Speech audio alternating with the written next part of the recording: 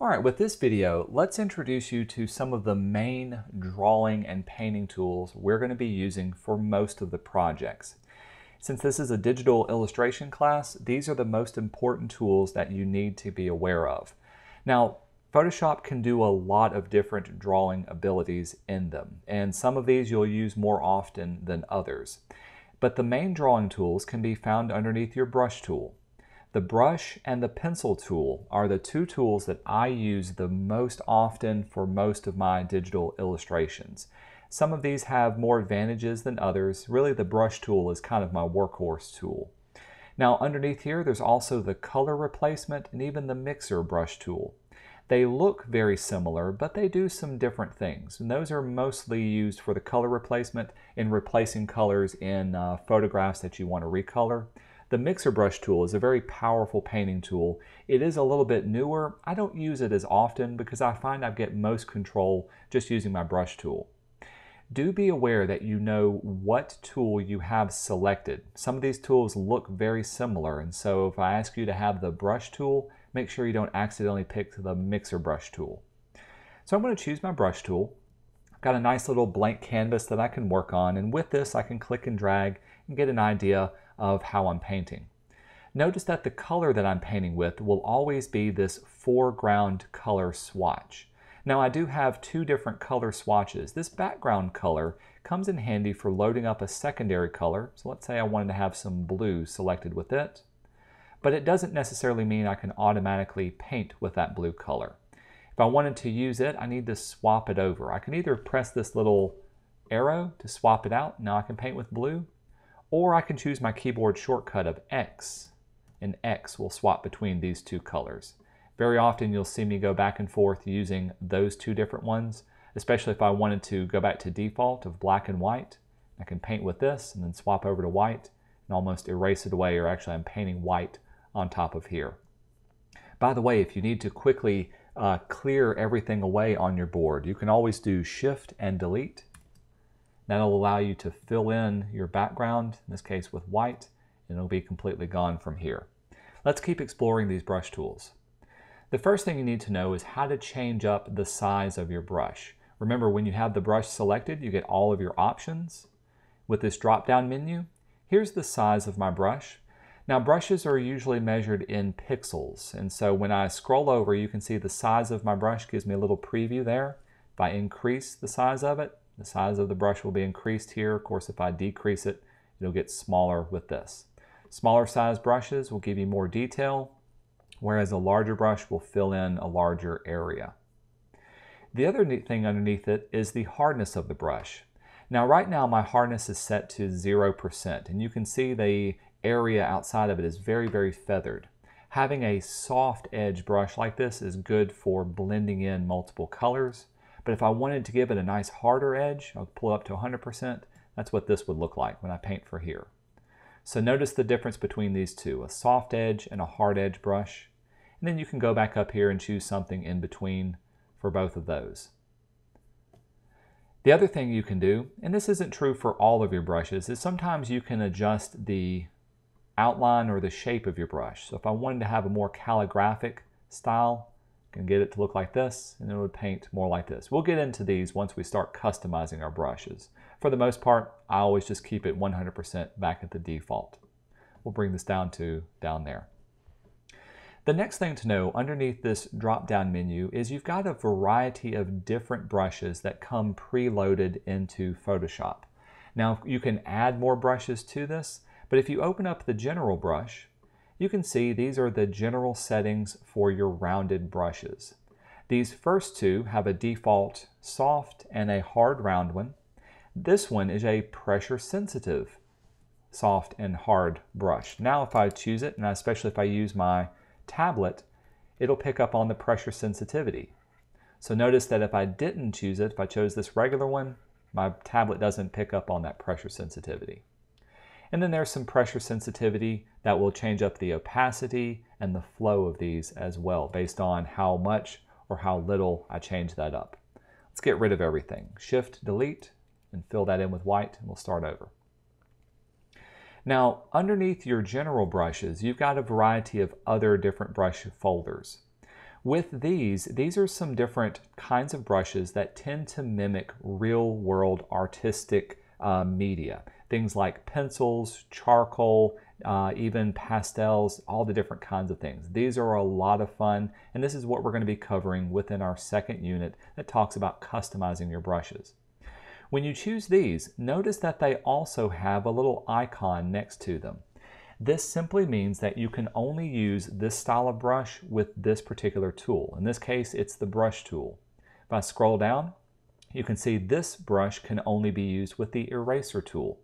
The eraser tool, the pencil tool, the brush tool all have the same kind of functionality. Let's look at some other ones. So wet media, here's one that's used with a smudge tool. Here's one that's used with a mixer brush tool.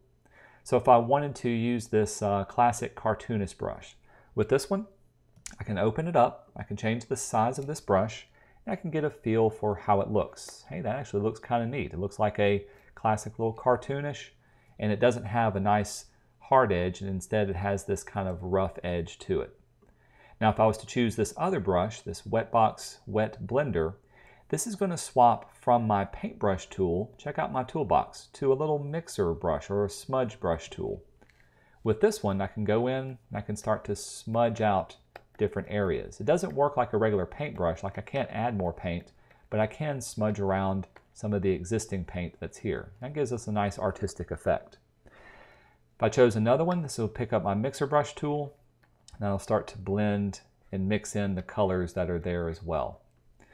The main takeaway from this is that pay attention to the outer edge of this.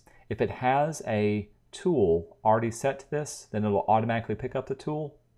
Or if I go back to my general brushes, you can see this doesn't have a tool, and so I can use it on multiple different tools, whether I'm on my regular brush or my mixer brush as well. The final thing you can do is you can add other brushes to here. You can play around with some of the special effects brushes, but if you want to add some more, go up to the top brush here. I like to add in some of the legacy brushes. These are some of the older style brushes that came with uh, Photoshop when it was first installed and first part of it. So to add these brushes, I'm going to choose Legacy Brush. It's going to ask me, hey, do you want to restore those and add it? We'll say yes. And now you can see there's another folder that's added to here. When I open it up, there's even some subfolders. And let's go to some of these really fun, uh, almost, there's calligraphic brushes, natural brushes. Ah, these are looking good here. So from here I can choose these, and I can start to play around and work with all those. Let's make it larger.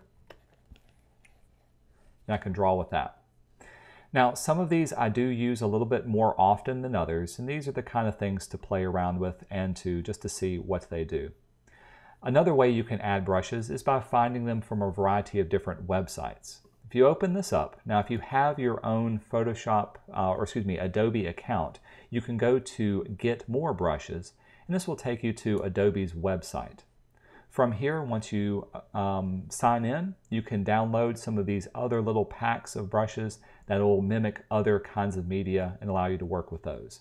Just keep in mind, you need to have an existing Adobe account to download these particular brushes, or you can find them from another source to download and install from there. Again, we'll talk a little bit more about creating and customizing brushes in a different unit. The other thing to pay attention to, let's go back up to our options. I'm to go back to just my general default brush, hard edge, is to know a good keyboard shortcut for changing the size of your brush. Of course, you can change the size of it here, or you can use your bracket keys. The bracket keys are located next to the P on your keyboard. Whoops. We'll close that out. And if I needed to make my brush um, much, much smaller, I can do my close, or excuse me, open bracket key, you can see it'll increment down in steps of five or larger using my close bracket key. So on the fly, if you see me making my brush larger or smaller, that's what I'm using. I'm using those bracket keys. If I wanted to make my brush have a softer edge, this is where I can do shift, open and close. You can pay attention up here and see this getting harder or softer doing shift, open and close bracket key. So on the fly, I've got some great little keyboard shortcuts to be able to use those and paint with those as well. Let's clear away our area.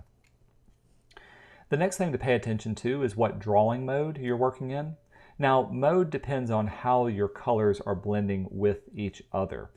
For the most part, I'm never going to move it past normal. I'm always going to paint in normal mode. But if you did have like a color selected, let me show you what this would do. Painting normal keeps it at 100%. But if I chose something like multiply, I still have that color red, but watch as it blends on top of this. It's actually getting darker as I paint for here. Now this isn't a normal way I like to paint. Sometimes you can actually do some really funky stuff like opposite and it'll paint and give you some really cool results working with those. But the mode that I like to work in is normal because it gives me the exact results that I'm looking for. The other thing you can do is change the opacity of your brush. Right now, by default, it's painting 100% red, but if I was to drop this down to say about 50%, you can see now it's painting 50% opacity, and then I can build up and actually blend in colors much better. Very often I'll drop the opacity of a brush in order to easily blend colors or to make things look a little bit more, uh, transition a little bit better as well. A good keyboard shortcut to know about the opacity is you can use your number keys at the top of your keyboard to jump in increments of 10. So if I want to get 20%, I can type 2. If I wanted to jump up to 60%, I can type the 6. It goes all the way up to there. Or 100%, I can type the 0 and it'll get those. Flow works very similarly. So with Flow, I can keep my opacity at 100%, but I can drop this down and I can paint that and it'll paint on slower. This usually works better if I've got one of my textured brushes. So Let's see if I can find one of these nice little textured drawing brushes. Let's go for the wet media, and I'll do this classic cartoonist. So right now, if my flow is set to, we'll bring it all the way down really, really small. Whoops, got off key here. We'll set my flow really small, bring my opacity back up to 100%. Now when I start to paint, at a smaller opacity or a smaller flow. We'll zoom into there. Eh, there we go. This is the flow of this brush brought down really, really low. You can see how it takes a long time for it to build up. Versus if I was to bring my flow up a little bit more to 20%, it goes on very quickly. Flow up a little bit more to 100%, goes to 100% with this. So flow and opacity, think of flow as like working with an airbrush or a spray paint can. The more flow you have, the faster it comes out of the can. The slower the flow, the slower it comes out, but it still comes out at 100%. The final thing to turn on, let's go back to my just my normal default brush, is the smoothing of this. By default, I usually keep my smoothing set to, uh, set to zero. This means whatever I paint automatically follows my brush. Let's make my brush a little bit smaller so we can see it. Automatically follows my brush. I can get lots of little details, but if I increase my smoothing number, let's bring it up to something drastic like 100%, this will cause my lines to go much smoother, a little bit slower, and it's a little bit harder to do small details. So if I wanted to draw a straight, smooth line, I can bring up my smoothing. This comes in handy if you're doing cartoonish style drawings and you want those nice smooth edges.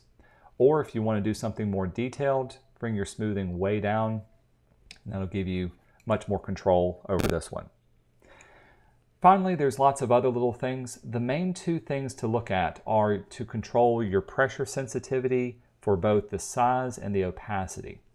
By default, if your brush doesn't have pressure sensitivity, like this one does, let's see, I'll back out and we'll put this back up there. We'll delete it away. If I wanted to draw without pressure sensitivity, whatever I draw with keeps it the same size. If I was to turn this icon on, that will automatically turn on pressure sensitivity for that brush. So if your brush isn't pressure sensitive by default, this is where you can turn it on. Now that's for the size of your brush. This one is for the opacity of your brush. This means when I start to paint, if I was to do a little bit of pressure, it's lower opacity. As I hold down more pressure, it gets higher opacity. So this is a great way to quickly blend that in by turning on that pressure sensitivity. Very rarely do I do both of them at the same time. Usually I keep pressure sensitivity on just for the size of my brush And I like to use my keyboard shortcuts to adjust the opacity or the flow of my brush from there as well. So that's the basics of setting up and using all of your brushes and working within your brushes. Start playing around with the size and what each of the different brushes will do. The other thing to play around with is working in pencil mode. Now pencil mode works just like your brushes. The only thing about it is make sure you're not choosing some of these. This is where I like to use those legacy brush. Is under pencil mode, you don't have the nice hard edge. Everything, or excuse me, a soft edge. Everything is meant to be a hard edge. And so if I was to use, let's say this, um, let's do this rounded fan brush. Ooh, that's kind of cool. It's going to give me a look and feel that looks kind of like this and works well stippling on with this one. Now this particular brush mimics this particular style of brush and sometimes it gives you a preview of it up here. Very rarely do I use these. Usually I like to turn that preview off so I can see exactly what I'm working with. Again, once we get into creating brushes, we'll go into a lot more details of what they can do. So if you haven't done so already, you got your tablet installed, start playing around with brushes and what they can do for you. The next thing we're going to do is to put this into practice and actually start to create a painting with the brushes that you have.